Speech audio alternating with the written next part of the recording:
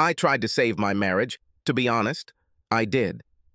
I grew up in rural Ohio in a family where militant values were as important as going to church every Sunday. Words such as divorce, separation, and infidelity did not exist in our family vocabulary. My parents have been together for over 50 years, and my grandparents have been together for over 70. So when I made my vows, I naturally thought it was forever. I met Daniel in college at a beach party, where I drank too much and threw up on my feet while we were standing around the fire. Don't get me wrong, I was by no means a big drinker, and in fact, it was my lack of experience with alcohol that led me to throw up. But everything happens for a reason, right? I looked at him and vaguely apologized, and although I expected a look of disgust followed by some curse words, he surprised me with a smile and a laugh. Nineteen years and two children later, thinking about that moment always makes me smile. Now, this makes me cry. I tried to justify the breakup the only way I knew how. I blame myself. Am I no longer attractive? Was I too boring? Didn't I please him in bed? Didn't I support it? Have I really neglected him? I had too many questions and not enough answers. It was the Sunday when my life as I knew it changed forever. I remember us arguing about taking a vacation, which we hadn't done in years. He promised that when the children grew up, we would travel and see the world together. I was still up for adventure, but according to him, it was something he was no longer interested in. We were in the middle of our debate when he burst out, This marriage isn't working anymore. Those were the infamous words he said to me the day he decided it was all over. It's been four months since we broke up, and those words still stick a dagger into my heart. I tried to do better, I really did. I suggested that we do something together, like we did before children. We could go on a date, go away for the weekend, or find a hobby we could do together, but nothing seemed to calm him down. And in a final act of desperation, I begged, Please stay for the sake of the children. They need a father. But he shrugged and walked out the door. Don't get me wrong, he's a great dad, a fantastic dad, and I know he'll always be there for them. Just not for me. So I've been seeing a therapist for the past month in hopes of helping me put things into perspective. She was fantastic. She said that his behavior is quite common, and that in most cases, the husband comes back. He needs time to refocus, recharge, take some time off away from home life, she said. Men are simple. They tend to react rather than assess the situation. Think about it, Karen. He never gave you a reason to worry, never mentioned breaking up, and then suddenly said, This marriage isn't working anymore. It sounds too impulsive to be real. She explained. I nodded in surrender and allowed her to continue. Look, Karen, I can't promise he'll come back, but most of the time, they do. In the meantime, Use this time to refocus and recharge your batteries. We all need this, she suggested. I continued to see her twice a week for the last two months. She gave me tips on how to talk to my children, stay positive, and even more death-defying how to approach the topic with my parents. But the best advertisement ICE gave me was when she said, Karen, you need to think about how to make yourself feel better. A little self-improvement will restore your self-esteem and confidence. Over the next few weeks, I developed the habit of going to the gym and eating healthier. Gradually, I felt good again. Every day after work, I spent two hours in the gym. I try to mix up my daily routine between cardio, strength training, elliptical, yoga, and aerobics. I felt like I was 30 again, full of energy, full of life. Working out made me feel good physically, and the hungry looks from men made me feel good mentally. I've never had problems with weight. In fact, since I started working out, I don't even think I've lost a pound. But I became more fit and had a lot more energy. I'm not glamorous and will never be on the cover of magazines. I'm what they call a small package. I'm 5'4", tall, with long brown hair just below my shoulders, brown eyes, and a newly formed, relatively toned body. Most men would consider me cute rather than beautiful, but I have been called both. My secret is pretty simple. I let the gym take care of my body and a little hair color and makeup does the rest.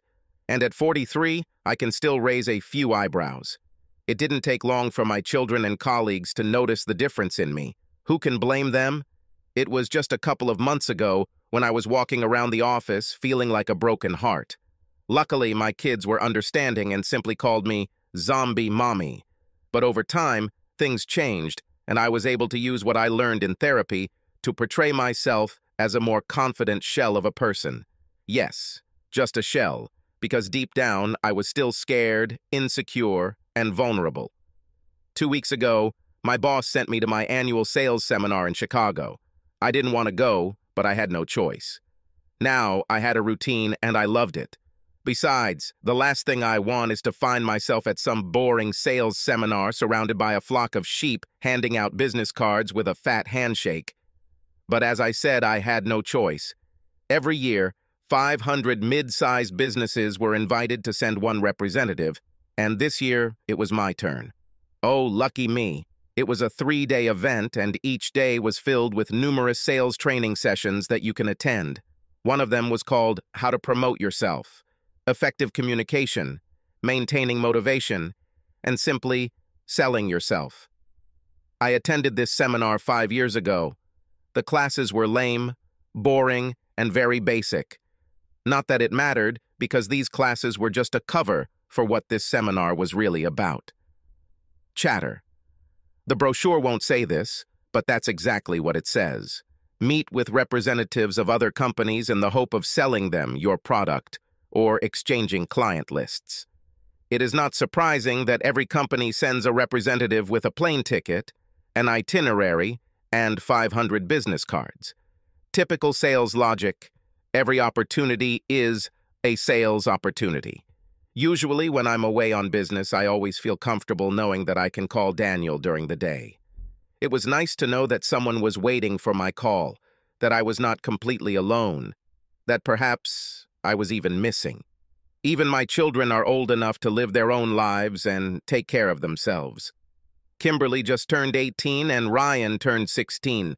Based on my call, I'm just checking on them, and I think they will even answer. In fact, they always told me to write a sure sign that they don't need to hear my voice. This trip will be more difficult than I thought. I arrived at the hotel at 9 p.m., quickly took a shower, plopped down on the bed, and turned on the TV. I was more restless than tired, but more than that, I was hungry. I looked at my watch, and it was already about 10 p.m. I remembered there was a tiny mom-and-pop restaurant in the lobby and wondered if they would still be open. There's only one way to find out. I threw on jeans and a sweater and headed to the restaurant. When I got there, all the chairs were on the tables and the staff were definitely in cleaning mode. I turned to leave when I heard the waitress call out to me. Hi, can I help you? She asked. Oh, sorry. I just came in for a bite to eat, but I see that you're closing. The dining room is closed, but the bar is still open. If you want, can you sit there and have a snack from our nightly menu? Of course, that would be great. Okay, follow me, she said, grabbing the menu. I couldn't help but notice how young and pretty the waitress was. I thought she must be in her early twenties. Her body was still firm and toned, and her black yoga pants showed off her curves. She probably works at night and goes to school during the day. I'm sure her body hasn't even seen the gym. Oh, how I wish I could be so young again. She pointed to a seat at the bar, and I literally had to jump on it. The waitress smiled at me as if I had just performed a circus act. What a lovely smile she had. This girl was too cute. She handed me the menu and said Dennis would take my order. Having said this, she smiled goodbye and left. I couldn't help but admire her body one last time. To say I was jealous would be an understatement. I sat at the bar, taking in my surroundings. The bar counter was very short, and judging by the number of stools, it could only accommodate four people at a time. Cozy. Being a family-run restaurant, they probably didn't get many barflies. Sports memorabilia adorned the walls.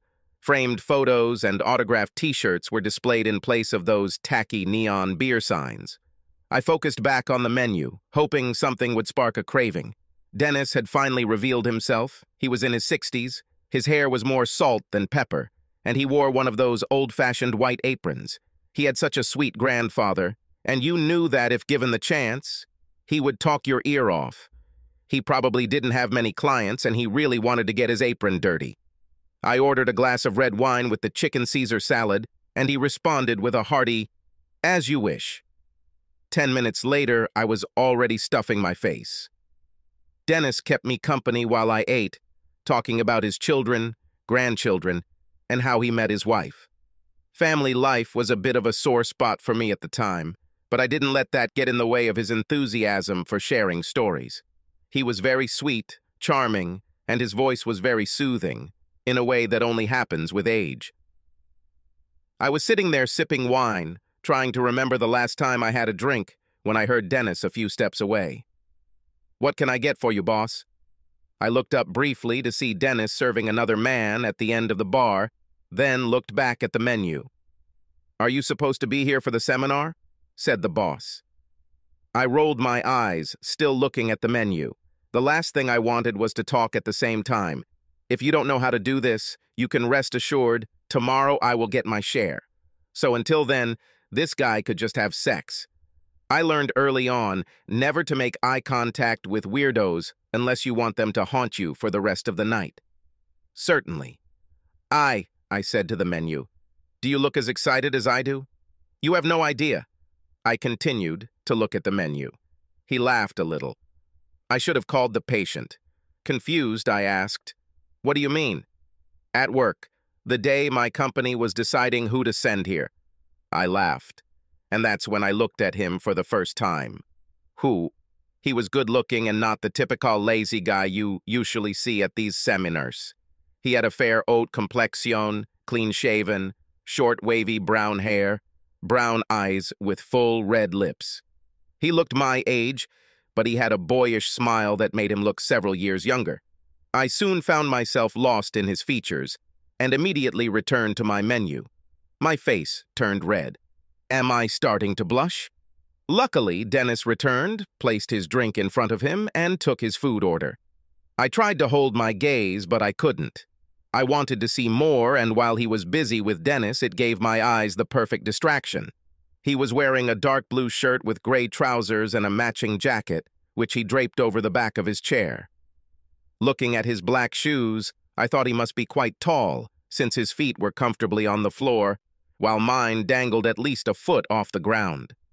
As my eyes moved from his shoes back to his eyes, I found them both looking at me. Caught! I can't believe I just got caught checking him out. They continued to stare at me. What? I asked.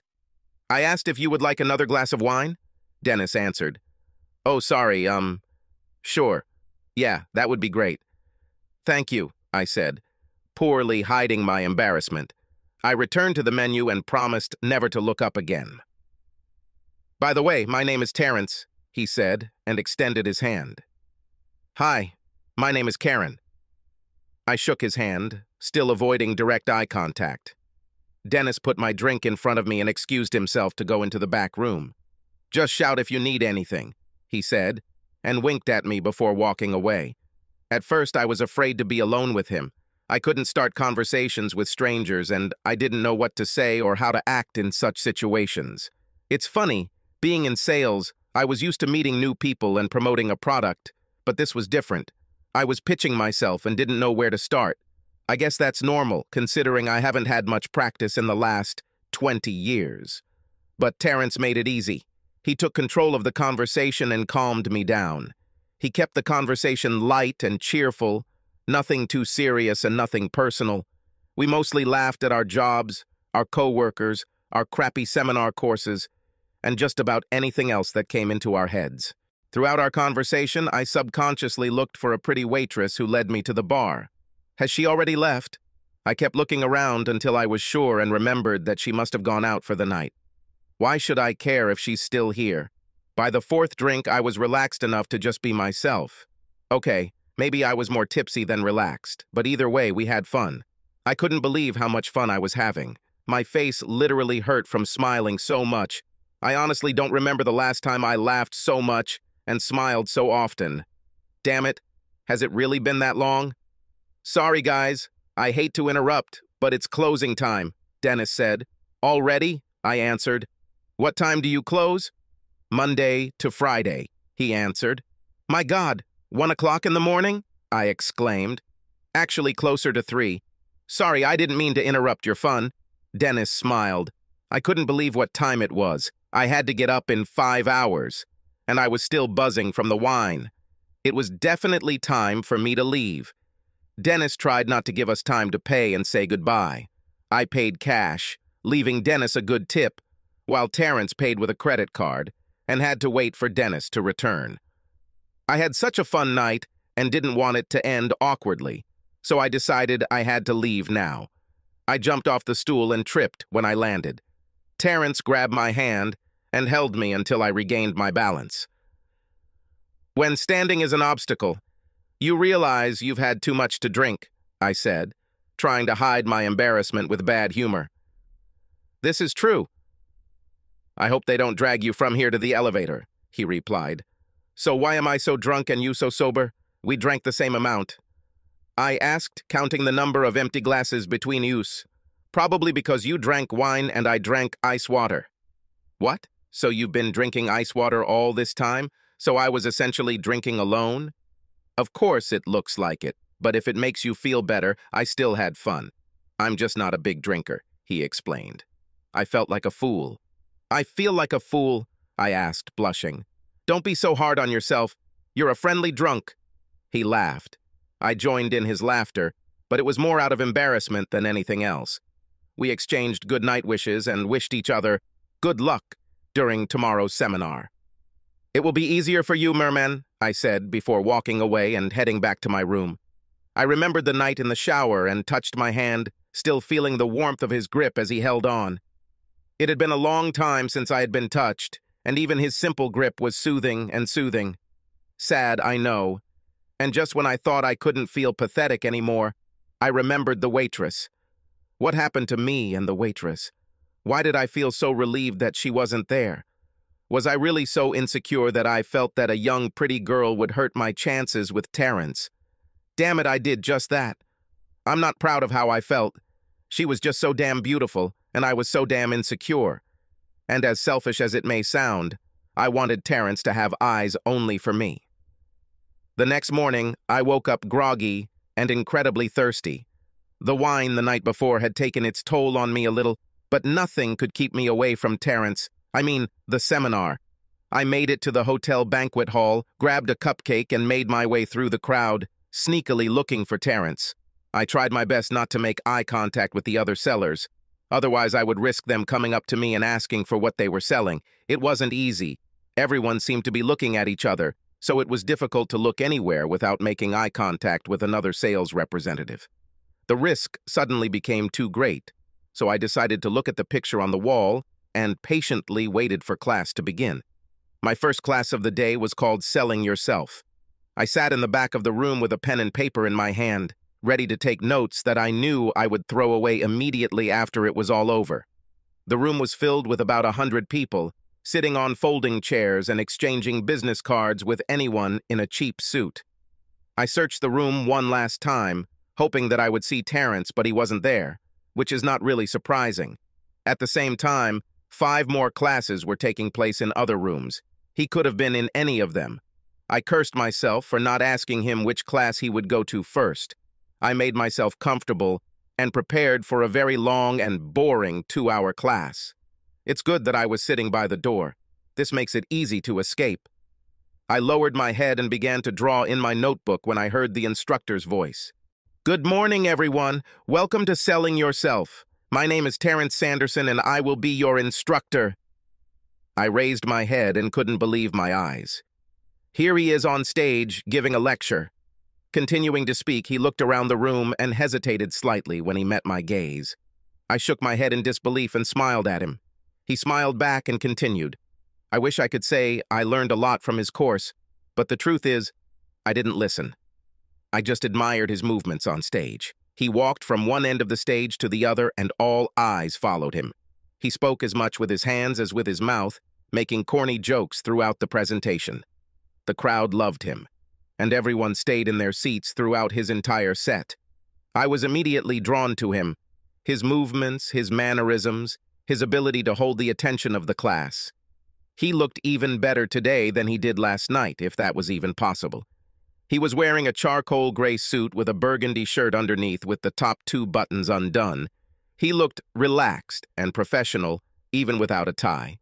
There was a moment during his presentation when he took off his jacket, revealing a little more definition in his arms and chest, and I wished I had sat closer. During the lecture, our eyes met many times, and I smiled at him every time. One day when he looked at me, I just stuck my tongue out, and he chuckled quietly mid-sentence. I liked him. I really liked him. I think he felt the same way, or at least I hoped he did. Maybe this is just what I needed. I remembered what my therapist said. Karen, you should do what makes you feel better. Honestly, I can't think of a better way to make myself feel better than to be with Terrence. Besides, I'm sure Daniel was with other people and wasn't just sitting around moping all day. The more I thought about it, the more sense it made. I have the opportunity to be with a great guy who I'm attracted to and feel comfortable with, which in itself is a rarity. Should I be so blind as to ignore it? Or should I grab this chance and make myself feel incredibly good? The answer was obvious. I had waited long enough, and from now on, I was going to put my needs first. Before I knew it, the lesson was over and everyone was applauding. He looked at me one last time, and I muttered the words, Good job, merman! As I continued to applaud. He smiled and nodded approvingly. I took a few other classes that day, but it was nowhere near as interesting as his. In fact, they were so boring that I surfaced halfway through each of them and had a snack at the same time, in case you didn't know. After all the classes were finished, I waited for Terence outside his classroom door. I waited and waited, but still there was no sign of him. When I entered the classroom, it was completely empty. I must have missed him. Curse! I didn't know what room he was in, not that it mattered. I didn't want to scare him by just showing up at his door, so I decided I'd go back to the bar tonight in hopes of catching him there. I went up to my room, took a shower, texted the kids, and checked my email. I didn't even notice how the phone in the hotel room was blinking, letting me know that a message was waiting for me. I checked the message and was excited to hear Terrence's voice. Water and wine at 8 today? Hope to see you there. By the time I got the text, it was already 7.30, so I quickly threw on my dress, put on my makeup, and headed out the door, all the while thinking, tonight? I couldn't wait. When I got to the bar, it was actually packed. There were no empty seats. Stupid conference. I searched the room and found Terence at the dining room table. Seeing me, he waved his hand, inviting me to join him. We hugged each other tenderly and sat down. The nice young waitress from last night came and took our order. I'm just lucky. She didn't recognize me and quickly took our order. Terence didn't pay any attention to her and was completely focused on me. I watched his eyes carefully, and he didn't even look at her as she left. I somehow felt relieved. He clearly wasn't like most guys. Even Daniel would have made it to the top. Damn me, too. We ordered a bottle of wine and some appetizers to share. You know, could you tell me that you were one of the instructors? I said. What fun would that be? He grinned. Oh, right. I forgot. You live to embarrass me, right? You do all this yourself. I just appreciate it. We both laughed and he filled our glasses. When the food arrived, we ate from each other's plates like a couple. We talked about the seminar and I told him how much everyone enjoyed his talk. Is it true? he asked. What did you like most? When you took off your jacket, I winked. Oh, so I was just eye candy? In a way, yes. I saw him blush and he shook his head in mock disgust. We continued to eat and teased each other throughout the meal. He was amazingly funny, and the more I laughed, the more comfortable I felt around him. I couldn't believe I was here flirting with a guy. When was the last time I did this? It was nice. My feelings were mutual, and I knew there was something between us. Tonight is night, my mind repeated. We finished our meal and drank our last glass of wine. Have you ever been to Chicago? He asked. No, this is my first time. Actually, my plan was to skip the seminars and go sightseeing, I replied. What happened? I met some guy at a bar. Lucky, he said. Not yet, I teased. He laughed. You know, I have another presentation to do in the morning if you want to skip class. Maybe we can go see some sights together. I'd love to, I said. It was about 10 o'clock at night when the waitress came and gave us the receipt in one of those leather booklets. He paid for it in cash, and we finished the wine. Thank you for dinner, But I didn't have to pay, I said. No problem. It was a pleasure. You know, the night is still young. Would you like to explore the city a little? He asked. Actually, I'm pretty tired. It's been a long day, I said. Maybe we should just go to bed. I emphasized the word us. Sounds like a good plan, he smiled. He took my hand as we rode up the elevator. We were silent from excitement. Neither of us uttered a word. Tonight is that very moment.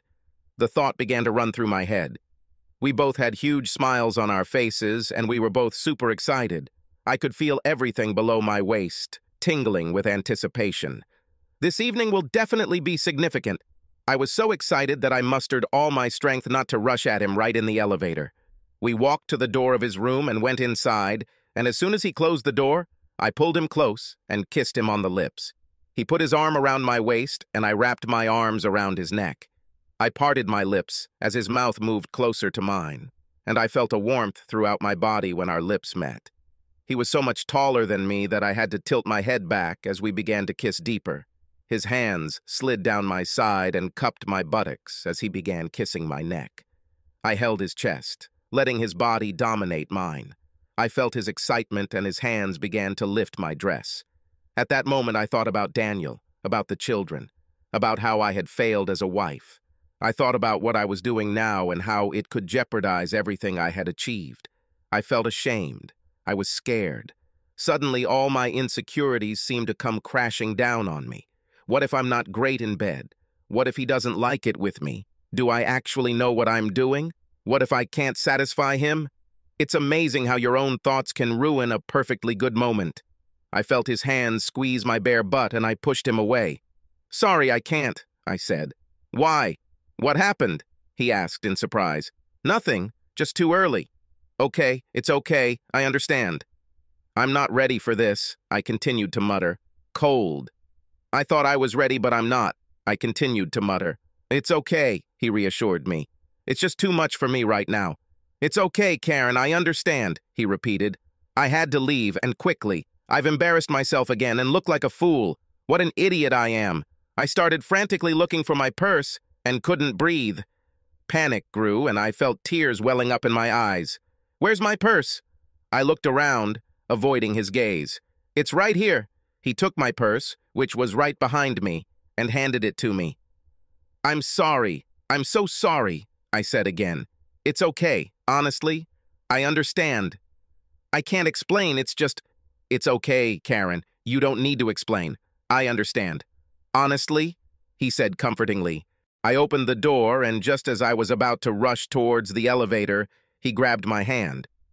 Are we still planning on sightseeing tomorrow? He asked. What? Didn't you hear what I said? I'm not ready. I don't talk about it, he said, pointing around the room. I'm talking about really getting out and seeing the sights, nothing more, he explained. Um, okay, okay. It will be fine, I said. Not because I wanted to, but because I would agree to anything to leave. Meet me in the hall at noon then? Okay, see you later, I said and ran to the elevator. Good night, Karen, he said, waving at my door. Yeah, I said, and let the elevator swallow me whole. When I returned to my room, I immediately fell on the bed and cried. I cursed myself for being such an idiot, for being such a neurotic, but most of all, I cursed Daniel for putting me in this situation. Why did you do this to me, Daniel? Why? Look what you did to me. I didn't want this in my life. I wanted everything to go back to where it was. I felt as if I was starting to go semi-hysterical. I didn't have the strength to fight, so I decided to just give her freedom. I ended up crying and falling asleep, waking up still wearing the dress I had worn the night before. I felt better and calmer. I knew it wouldn't be easy, and now I believed it more than ever. It's not that I didn't want Terrence, I really did. I just wasn't ready. I just wanted it so bad that I didn't even think about whether I could handle it. I tried to force myself and paid a high price. I can't blame Terence.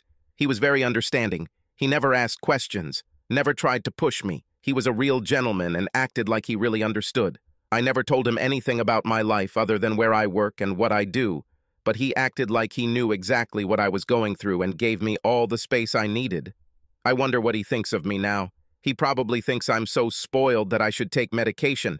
Unfortunately, he's probably right. I'm sure I scared him, and he probably doesn't want anything to do with me. I can't blame him, but he still invited me to go sightseeing today. Why? Was this just a weak attempt to make me believe that he really understood everything? Or was it just so he wouldn't blame himself if I jumped off the balcony? I really didn't want to see him anymore. I couldn't face him after that psychotic episode, but the truth is that I really enjoyed being with him. My little outburst the other night aside, we got along really well and had fun together. Should I throw away a potentially great friendship just because of a little fit? I think it's up to him to decide. I was planning to meet him. For that matter, at least apologize again for your behavior. I didn't go to any seminars in the morning. I didn't want to. I had a lot on my mind and just stayed in my room until it was time to meet Terrence. I hope he will be there. I pulled on jeans and a light sweater in preparation for a chilly day of sightseeing. I came into the hall at noon, and he was gone. I can't say that I was completely happy. Ivlena. I decided to sit down and wait for him for a few more minutes. Fifteen minutes later, he arrived. He apologized for being late, explaining that students had questions after class. I'm glad you're here, he said. Honestly, I didn't think you'd come. There are two of us, I smiled.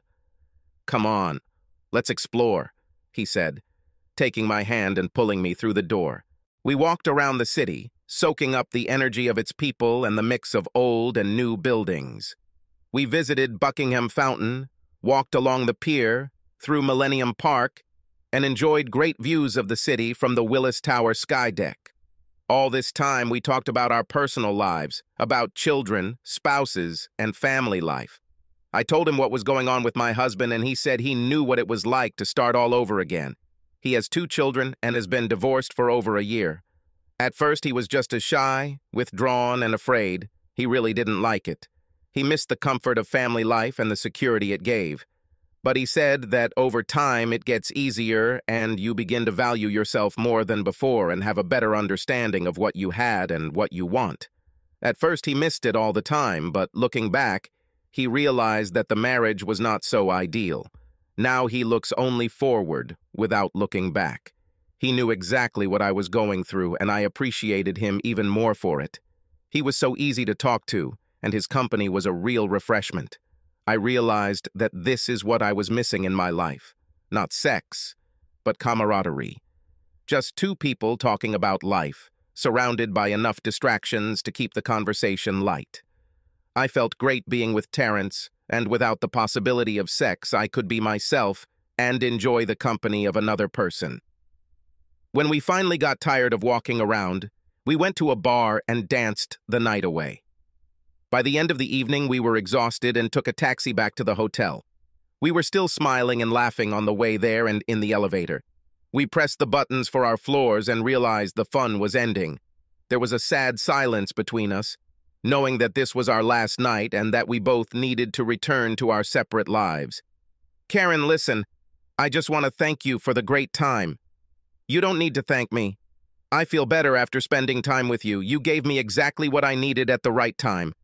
I will be forever grateful to you, I said. You are unique, Karen. Don't let anyone tell you otherwise. The elevator doors opened, and he kissed my cheek before exiting and heading to his room. I raised my hand as if to say wait, but lowered it, thinking it was better not to. As soon as the elevator doors closed, I felt tears welling up in my eyes as I held back my tears. I had his business card and figured we could keep in touch that way, but how long would that last? Perhaps it's best to end this before it starts. When I returned to my room, I undressed and jumped into the shower. My body was tired, but my mind was busy thinking about Terrence. I tried I could get it out of my head, but I just couldn't. I wrapped myself in towels, sat on the bed, and checked my email. To my surprise, I had a message from Daniel. Karen, I'm so sorry for the way I behaved. I was wrong. When you get back, call me. Let's have dinner and try to forget about everything. I want to start over with you, make everything right. I love you and miss you so much. Daniel, I have been waiting for such a message for a long time, I even dreamed about it. In fact, just a few days ago, I would have been happy and overwhelmed with joy that Daniel was coming back. But strangely, I wasn't. I mean, I love Daniel, but I was thinking about Terrence. I put my fingers on the keyboard for what felt like hours, trying to figure out what to say to him, trying to figure out what I really want from our marriage, what I really need. I finally gave up and closed my laptop. I lay down on the bed, staring at the ceiling, feeling more confused than ever. I didn't know what to do, but I quickly thought of someone who had experienced something similar, who might know the answer. The only way to find out. I quickly dried myself off and threw on the same dress I was wearing last night and ran out the door. I knew it was a weak excuse to see Terence, but it was still an excuse, right? As I approached his door, I looked around to make sure no one was watching. I don't know why I did it. I just did it. I knocked softly on his door, not wanting to disturb the neighbors, but no one answered. I knocked a little louder and waited, but still no answer. I raised my hand, ready to rush inside, but stopped myself. I figured he was probably fast asleep by now, and I really shouldn't have been here considering my motives weren't sincere. I turned to leave when the door opened. Terence stood behind the door with his head looking out. Sorry, I said. I woke you up? No, not at all. I just got out of the shower. Is everything okay? Yeah, everything's fine. I just wanted to say goodnight. Oh, okay. Do you want to come in? He asked, holding out his hand. I looked at both ends of the corridor, making sure that no one was nearby. Again, I don't know why I did it. I just did it, and then put my hand in his. He led me through his door and locked it behind us. He was naked except for a towel wrapped around his waist, and his body was still slightly damp from the shower. He sat on his bed, putting on a t-shirt, and waited for me to speak. I looked around the room, thinking about how similar it was to mine. It had a queen-sized bed with a flat-screen TV in front of it and a table and chair to the side. The closet was directly opposite the bathroom and had a full-length mirror attached to the door. Okay, I admit. I wasn't looking around so much as I was stalling for time. Sorry for the mess. I wasn't expecting guests, he said. I have to go, I asked. Of course not. You look like you want to say something. Something important, perhaps? What is it? What I wanted to tell him and what I wanted to do to him were two completely opposite things. Nothing important, really. I just... I really wanted to say goodnight, and that I'll miss you. I like your hair like this. He smiled. What's wrong with my hair? I answered. I turned to the mirror and began to smooth my hair. In my haste to get down here, I completely forgot to comb my hair. Terence came up behind me and put his arm around my waist. We looked at each other in the mirror. It felt so good to be in his arms. You look great, he said. I smiled in gratitude, and he gently kissed the side of my neck. I held his hands tightly, feeling my body trembling with pleasure. He kept kissing my neck and lightly biting my shoulders. His hand slid over my stomach and then onto my chest. I leaned my head back onto his chest and took a deep breath, never taking my eyes off the mirror. He placed his hands on my shoulders and pulled both of my straps down at the same time, causing my dress to fall to the floor. He put his arm around my waist again and held me tightly as we looked at each other in the mirror. Normally, I would be embarrassed to be completely naked in front of someone, but with him, I felt completely at ease. He took off his t-shirt and pressed his bare chest against my back. The warmth of his body sent shivers down my arms. We looked great together. His height and athletic build complemented my curves perfectly. We really looked great together. He continued to kiss my neck while his hands slid over my stomach and up to my breasts. Just watching his hands massage my breasts in the mirror turned me on beyond belief. We both looked in the mirror, admiring how his hands caressed my breasts. I let out a soft moan as he turned me a little, leaned down and started kissing one of my breasts. I wrapped one arm around his neck and continued to run my fingers through his hair with the other. I bit my lip as I watched his hand slowly slide down my body to the top of my thighs until it was between my legs. I let out a quiet sob. He left his hand in place, motionless, and continued to kiss my side, my waist, and down to my butt. He knelt down in front of me, turned me a little, and continued to kiss my stomach. I watched as his hand slowly moved from the back of my calves up the back of my thighs until they were resting perfectly on my buttocks. He continued to run his tongue over my stomach and then turned me completely so that my back was facing him and began kissing my way down my lower back to my buttocks. I started kissing his chest, running my fingers over his stomach. I removed his towel, revealing his private part, admiring its length and thickness. I knelt down, closed my eyes, and began to work. Then he gently laid me on the bed and lay down next to me. He grabbed a blanket and covered us with it. We remained face to face, kissing passionately, pressing our bodies tightly against each other. Our hands were under the blanket, exploring and massaging freely and without restrictions. We stayed like this for about 20 minutes, slowly arousing our senses and increasing our desire. Being under the covers, I felt cozy, but cheeky. It was romantic and erotic at the same time, the most sensual feeling I have ever experienced. After sex, he held me tightly and warmly as we exchanged soft kisses, knowing it wouldn't be long before we found ourselves in the embrace of passion again. I stayed in Terrence's bed for the rest of the night and woke up in his arms. I couldn't remember the last time I had several such exciting days. This was exactly what I needed and wanted. I was completely satisfied and felt good. I felt like a new person. A confident, strong, and optimistic person, not just an empty shell. Terence and I said goodbye at the airport. It wasn't easy for either of us, and all we could do was promise to keep in touch.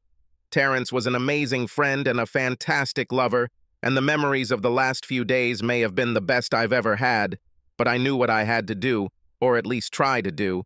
I decided to give Daniel another chance. We'll go to dinner and talk about our future and try to work on our marriage for the sake of the kids. I made a commitment to Daniel and I was going to keep it, but now I'm no longer afraid of being alone, no longer afraid of losing him. I am unique, and I won't let anyone tell me otherwise. Subscribe to our channel so that your second chaff doesn't cheat on you, and go ahead and listen to the next story, because this story is nothing compared to the next one. If you're under 18, don't even think about listening to the next one.